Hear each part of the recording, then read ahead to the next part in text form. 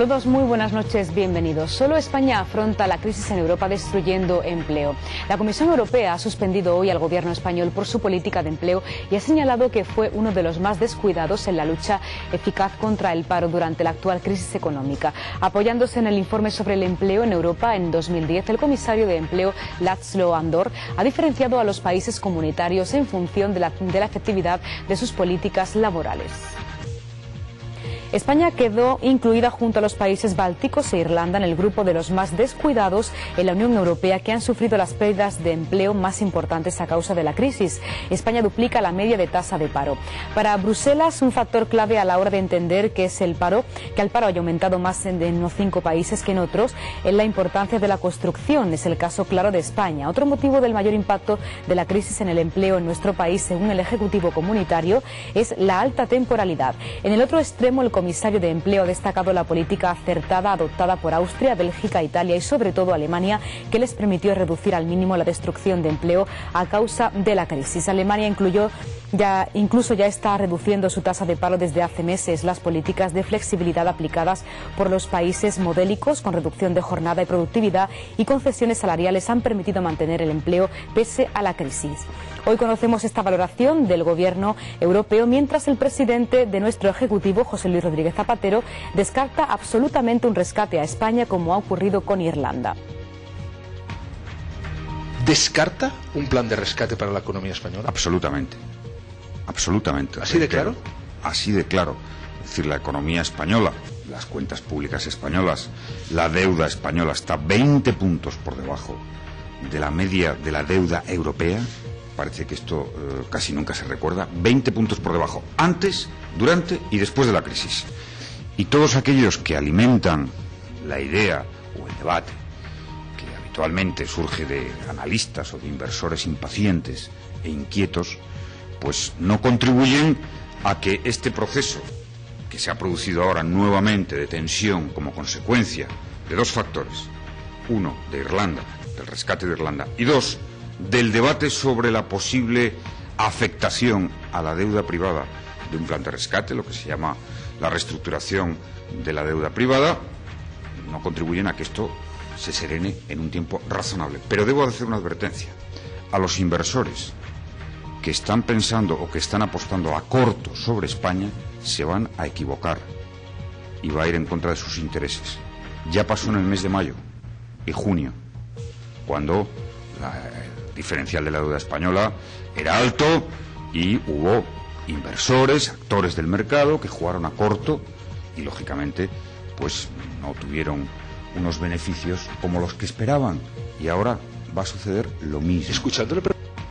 Y en el Parlamento andaluz esta semana sesión tensa, cruce de acusaciones entre el presidente de la Junta, José Antonio Griñán, y el presidente del Partido Popular andaluz, Javier Arenas. Según este, la política de Griñán es un retroceso para la comunidad. También ha destacado el líder popular que por su oscurantismo y ausencia en Europa se está cargando el futuro de nuestra tierra. Griñán se ha defendido diciendo que Andalucía es la comunidad más transparente y que siempre cumple sus deberes. Y como es viernes, vamos a hablarles de cine. Vamos a hablarles de la película Lobos, Skyline o Ladrones. Entre Lobos es un largometraje de ficción basado en la extraordinaria historia de Marcos Rodríguez Pantoja, nacido en Sierra Morena. A los siete años, Marcos es entregado por su padre a un cabrero para cuidar el rebaño, pero este muere. Marcos se queda solo y aislado. Durante 12 años permanece en el monte sin contacto con humanos. Vivió junto a una manada de lobos. Y nueva muestra del subgénero de la ciencia ficción que más se ha prodigado en el cine, el de la invasión extraterrestre, lo veremos en Skyline. La historia comienza en Los Ángeles cuando aparecen en el cielo unas extrañas luces. Así el resto del mundo. Los protagonistas intentan evitarlo y descubrir lo que está ocurriendo.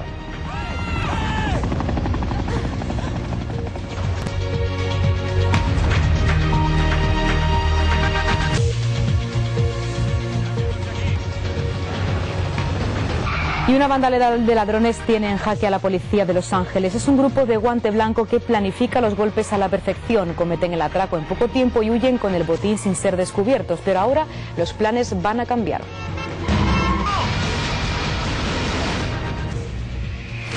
Nos lo llevamos. Son algunos de los asuntos del día, les contamos más de inmediato.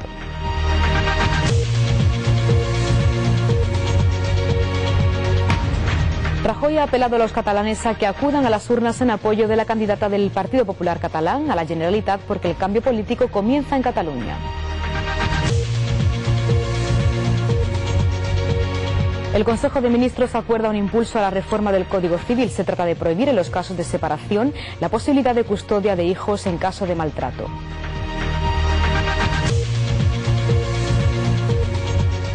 Y el número de hipotecas sobre vivienda construida en septiembre ha descendido cerca de un 16%. Ya son cinco meses consecutivos a la baja.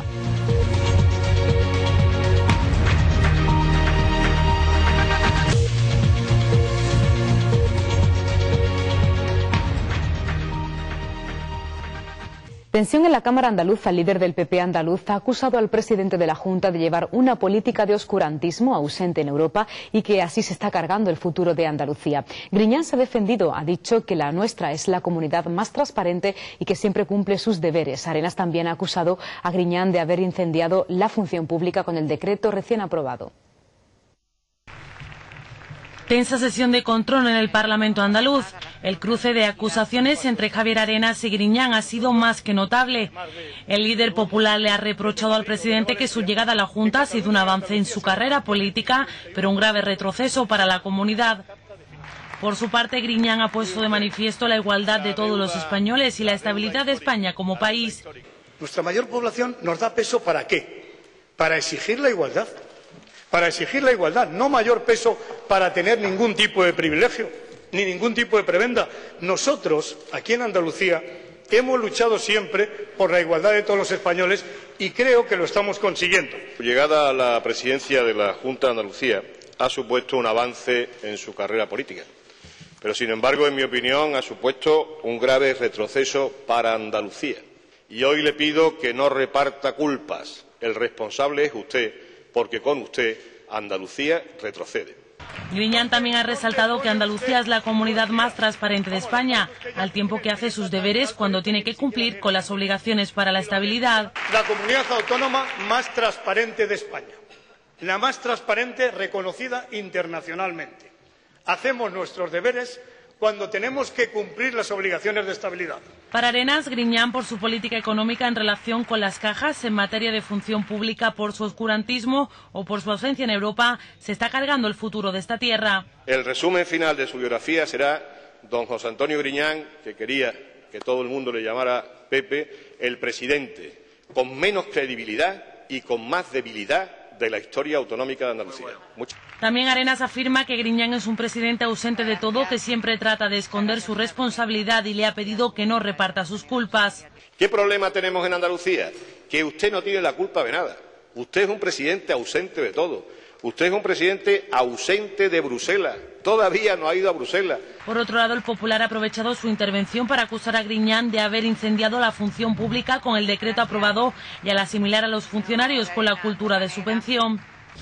Una sesión plenaria que se vio interrumpida por los extrabajadores de la factoría gaditana de Delfí, que fueron desalojados del Parlamento tras abuchear al consejero de Empleo, Manuel Recio. Señor consejero de Empleo, tiene su señoría la palabra. Y hablamos de las últimas jornadas de la campaña electoral en Cataluña. El presidente del Gobierno, el líder del PSOE, José Luis Rodríguez Zapatero, ha advertido que los catalanes están jugando el próximo domingo seguir con las políticas sociales o abrir la puerta a que se desmantele el estado de bienestar social si CIU llega al poder.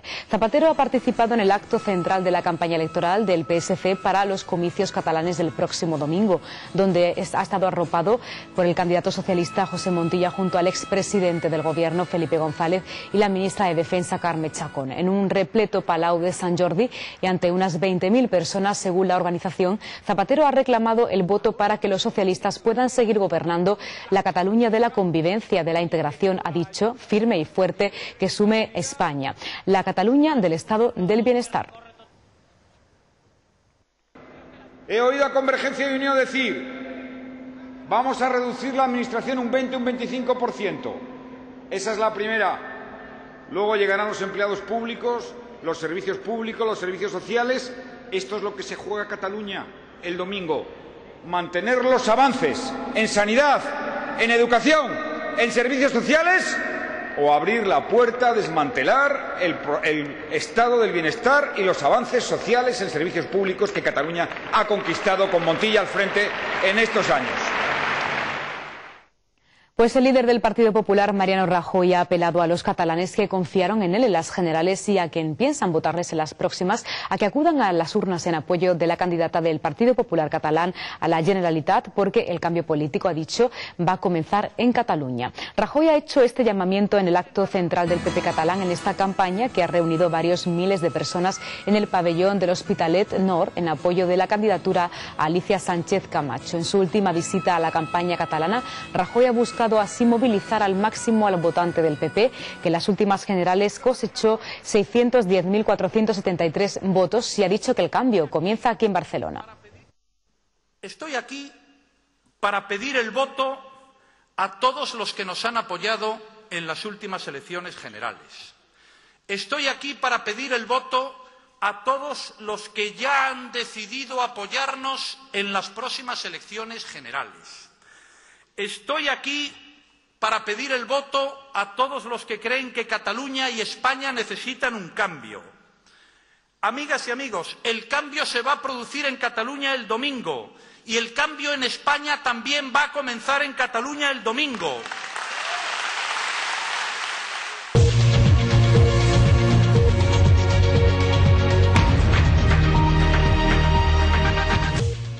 Ayer se celebraba el Día contra la Violencia hacia las Mujeres. Hoy el Consejo de Ministros acordaba un impulso a la reforma del Código Civil. Se trata de prohibir en los casos de separación o divorcio la posibilidad de custodia de los hijos en caso de, de malos tratos. El Consejo de Ministros acordará hoy impulsar la reforma del Código Civil para que los hombres incursos en un proceso penal por violencia de género pierdan la custodia de sus hijos cuando se separen o se divorcien de su mujer.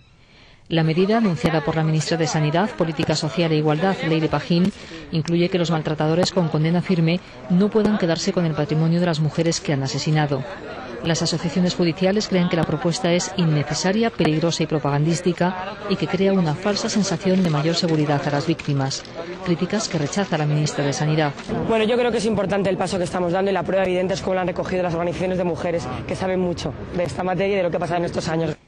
Desde comienzos de año, 64 mujeres han muerto a manos de sus parejas o exparejas, más que en todo 2009.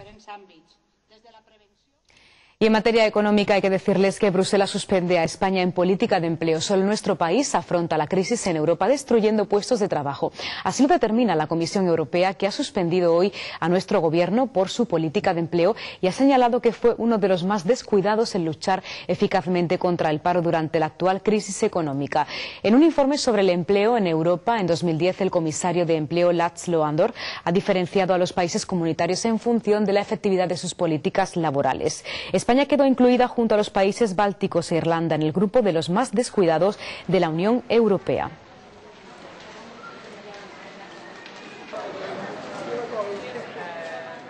Y seguimos hablándoles de noticias económicas, pues el número de hipotecas sobre vivienda construida en septiembre ha descendido casi un 16% respecto al mismo mes del año pasado. Ya son cinco meses consecutivos a la baja.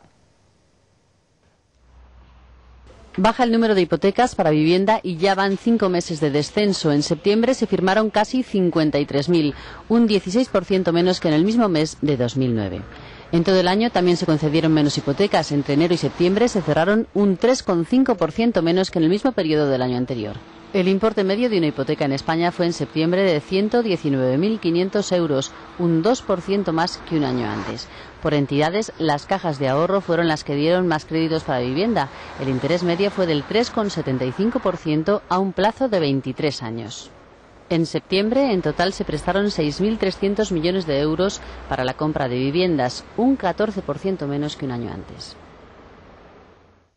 Y la capital hispalense ha acogido hoy la presentación de los resultados de dos estudios sobre desarrollo regional en Andalucía. El secretario general de Universidades, Investigación y Tecnología ha sido el encargado de presentar ambos análisis que trata sobre el sistema universitario y la vertebración del tejido productivo en el sistema educativo superior. Francisco Triguero ha puesto el acento sobre estos informes cualitativos, destacando que reflejan la evolución de las buenas prácticas y de las fortalezas y debilidades, así como las recomendaciones para seguir mejorando nuestro sistema educativo superior. Unos análisis que además permiten la comparación con el resto de comunidades autónomas, ya que la metodología aplicada es la misma presentar a los agentes implicados en la, evaluación conjuntamente, ya sean universidades, ya sean agentes del conocimiento. Eh, tenemos una, presencia, yo creo que muy, muy interesante, es un foro especialmente significativo, con presencia eh, incluso de los ministerios correspondientes, los que tutelan la actividad de, educación y de ciencia e innovación y por otro lado también establecer, eh, dar a conocer ese proyecto por las personas que han capitaneado el desarrollo.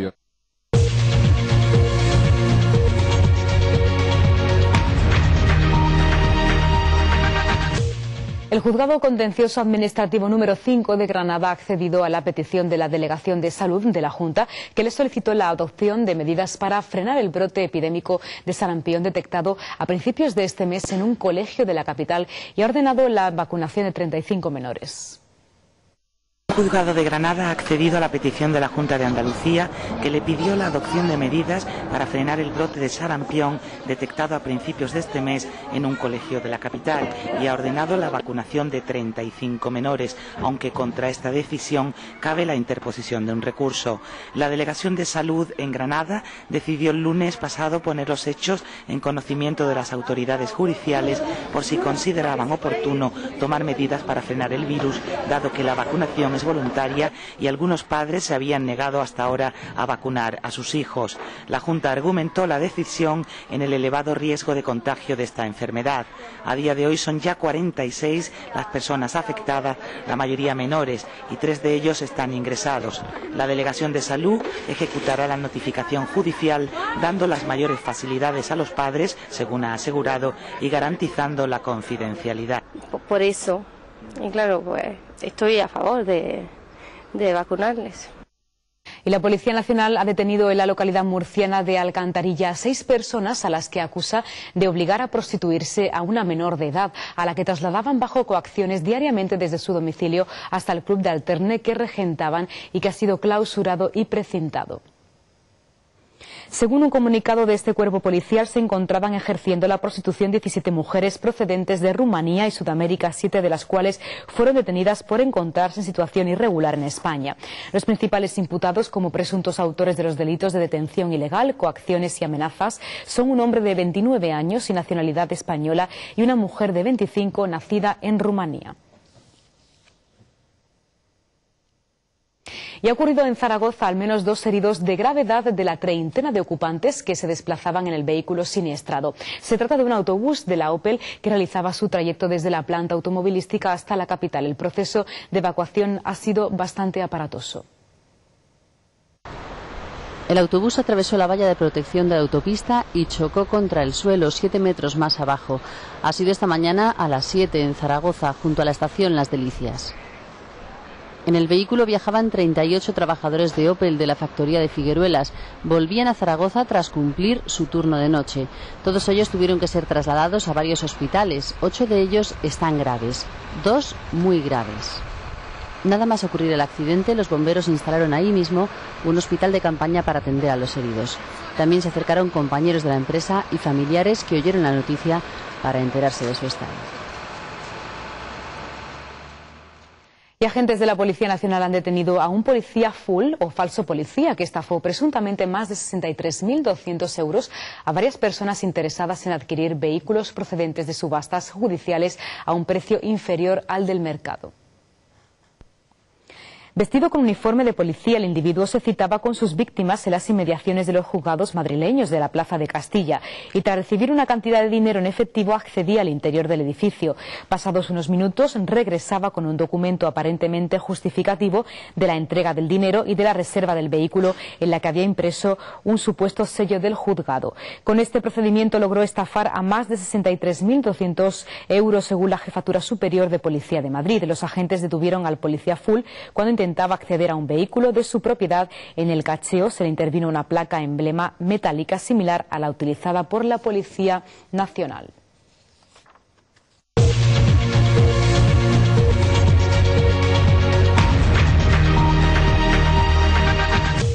Salmón salvaje de Dinamarca, sofisticada pasta italiana con un guiño a la dieta mediterránea o una infusión a base de rosas son algunas de las delicias que propone Tasti, una plataforma online que ofrece una selección de productos de los principales templos gastronómicos europeos. Bombones franceses, mermeladas de canela con sabor a hogar, trufa disfrazada de caviar. ¿No se les hace la boca agua? Llega la Navidad y los amantes de los manjares exclusivos lo van a tener más fácil que nunca para surtir su mesa, como nos explica Milena Amaral de la tienda online Tasty. Hoy en día eh, el, placer de recibir en casa o de eh, degustar eh, un, producto exquisito es realmente una tendencia creciente en, los hábitos de los consumidores. Y Tasty es la manera de llevar estos productos a estas necesidades. Mientras Milena nos muestra cómo se prepara una infusión a base de delicados capullos de rosa, es hora de preparar una lista de regalos para los gourmets de nuestras vidas. Pate francés o, ¿por qué no?, un poco de salmón salvaje de Dinamarca. Bueno, estamos hablando entonces del salmón salvaje danés, eh, importado y distribuido por la Maison Caspia, que es una de las referencias efectivamente en el segmento. Este salmón salvaje que es ahumado en la madera de haya, es muy sutil y muy eh, sensible al tacto y al paladar, eh, libre de dietas de camarones, por ejemplo, y es más sano en, en su segmento. ¿Tés? Chocolates, galletas e incluso pasta y salsas con toques de alta cocina mediterránea para regalar y regalarnos. Lo mejor, que ya no hace falta viajar a los templos europeos de la gastronomía para conseguirlos. Ahora solo están a un clic y el tradicional juego de mesa de compraventa de propiedades, Monopoly, celebra su 75 aniversario. Lo hace con una exposición en el Círculo de Bellas Artes de Madrid. La muestra ha sido inaugurada hoy y estará abierta hasta el domingo y propone un recorrido histórico por las diferentes etapas de este emblemático juego. Para la compraventa de propiedades en el Monopoly no hay crisis que valga. Nació con los coletazos de la Gran Depresión y cumple 75 años en plena inquietud económica mundial. Para celebrar los tres cuartos de siglo de este tradicional juego de mesa, el Círculo de Bellas Artes de Madrid acoge una exposición con 25 ejemplares exclusivos del juego. Un auténtico recorrido histórico por las diferentes etapas que va desde la primera edición estadounidense de 1935 hasta la recién estrenada Monopoly Revolution, que acorde a los nuevos tiempos se pasa al pago con tarjeta, dejando a un lado los billetes y las tarjetas de la suerte. Los efectos de sonido son otra novedad con ruido de barrotes cuando entras en la cárcel. Para la empresa que comercializa el juego en España, la clave de su éxito está en las versiones que saca cada año, con más de 20 distintas en nuestro país y con todo tipo de reclamos, desde los Beatles a Bob Esponja.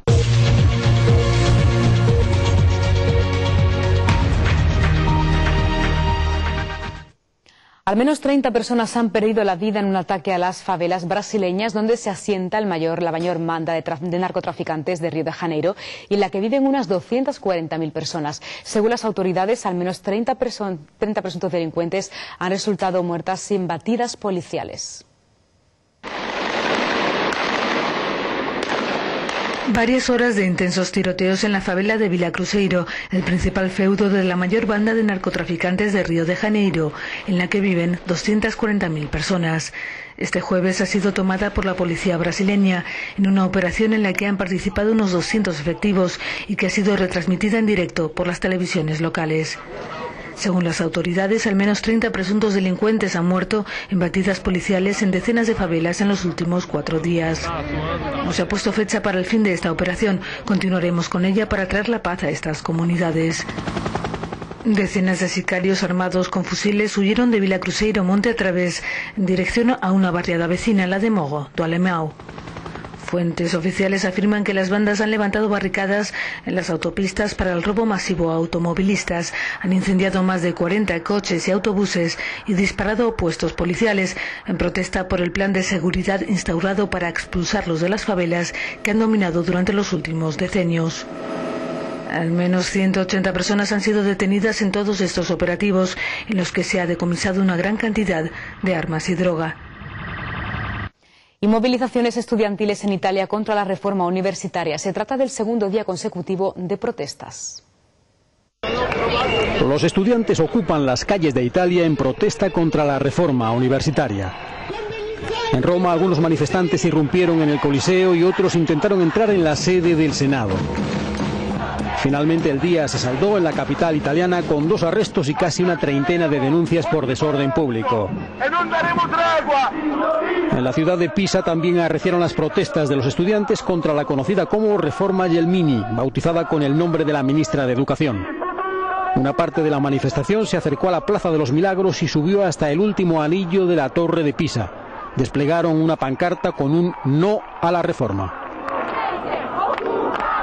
Los estudiantes italianos protestan contra la reducción del presupuesto en la escuela y la universidad pública, sobre todo en el sector de la investigación.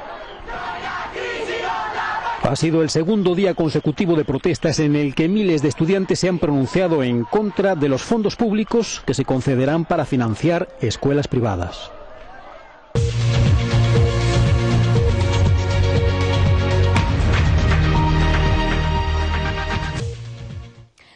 Alerta en 29 provincias por el temporal de viento frío y nieve que llega a España. En la alerta naranja, riesgo importante, solo está activada en Álava, Guipúzcoa, Vizcaya y Cantabria por nevadas fuertes. En el resto de provincias, las alertas son amarillas y la mayoría están motivando las bajas temperaturas. En el archipiélago canario se ha activado también la alerta amarilla por rachas máximas de viento de hasta 100 kilómetros por hora en Gran Canaria, La Palma y Tenerife. En Asturias hay alerta amarilla por nevadas que pueden alcanzar los 5 centímetros. Conocemos la previsión del tiempo para las próximas horas.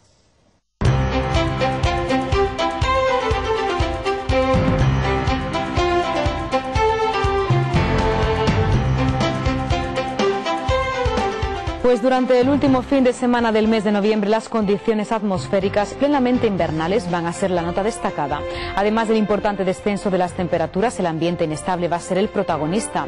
Los cielos permanecerán cubiertos desde hoy hasta el lunes y las lluvias serán frecuentes. Por último, el principal ingrediente del tiempo invernal, la nieve, llegará al norte peninsular. Y en Andalucía la situación será similar, experimentaremos bajada notable de temperaturas y lluvias incesantes que serán protagonistas, sobre todo en la jornada del sábado. A medida que avance el día irá remitiendo el temporal. Las producciones españolas, el idioma imposible, propios y extraños y entre lobos, intentarán devorar el, en cartelera al film policial Ladrones, que buscará hacerse con la taquilla española, donde también compiten el drama Chloe y Poesía, una de las triunfadoras en Cannes. Desde la cartelera llama Marcos Rodríguez Pantoja para contarnos Entre Lobos, una película basada en hechos reales que narra la historia de un niño abandonado en Sierra Morena con los lobos como única compañía. Juan José Ballesta, Sancho Gracia, Carlos Bardén y Manuel Camacho conforman el reparto de este filme que dirige Gerardo Olivares.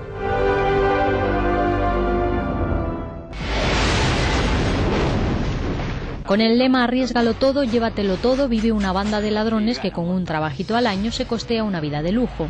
El próximo objetivo, un camión blindado con 12 millones de dólares. Todo se complica con la aparición de un detective al que da vida Matt. John Lusenhoff dirige a los cacos Paul Walker, Hayden Christensen y Chris Brown. Mi marido me está engañando. Oh, eso creo. Los celos de Catherine, interpretada por Julian Moore, le llevarán a probar a su marido Liam Neeson usando de señuelo a Chloe, una prostituta de lujo a la que da vida Amanda Seyfried. Sin embargo, esta prueba tendrá unas consecuencias insospechadas. Atome Goyan dirige Chloe. Se acabó.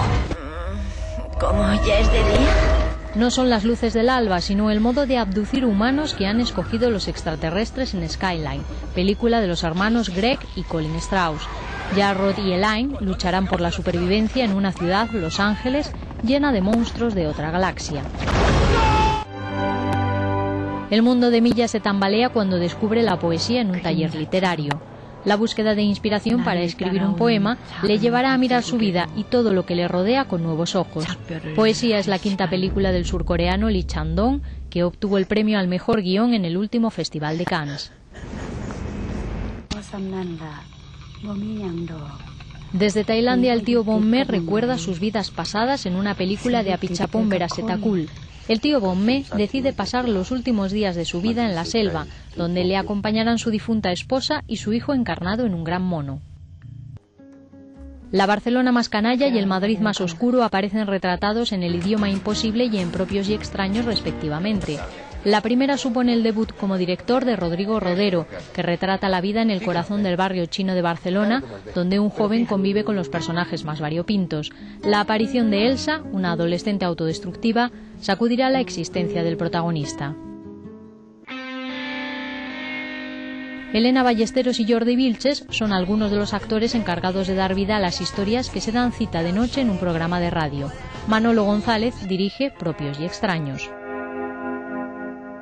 Yo solo veo molinos. Ya sé lo que es un molino, Sancho, pero eso de ahí son gigantes. Y para los más pequeños llegan las aventuras de Don Quijote, que acercará a este personaje a los niños gracias al relato de un ratón que vive en casa de Cervantes. Y ha sido todo por hoy. Nosotros volvemos el lunes. Que descansen y que pasen un buen fin de semana.